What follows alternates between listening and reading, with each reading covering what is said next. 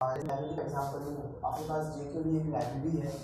तो उसमें है कि बहुत सारी चीज़ें जावा स्क्रिप्ट के थ्रू ही बदलती हैं, बस उनको अपन इम्प्लीमेंट करना थोड़ा सा ईजी हो जाए क्योंकि उनके पास नहीं है।